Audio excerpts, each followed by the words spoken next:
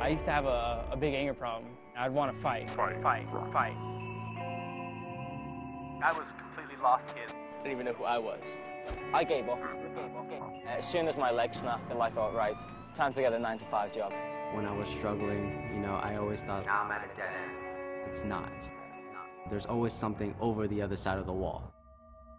Parkour is not like any other sport or discipline or art.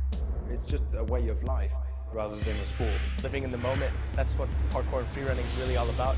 living in the moment makes you appreciate what you have in your life. I saw parkour as an opportunity to find myself through the movement. Parkour lets you be you. It lets people know that it's okay to be different. It's okay to explore your own abilities and not follow society's defined norm. Through the practice of parkour, I've become more aware of just the self-discipline of life, really. It's just about going out, you know, and expressing yourself. I'm not asking myself why I'm doing this. I'm just doing because it's way of life, life, life, life. Really don't see things the same way as you used to, and you look at the world in a completely new light. light. It's not you learn parkour in your life, it's you learn about life through parkour.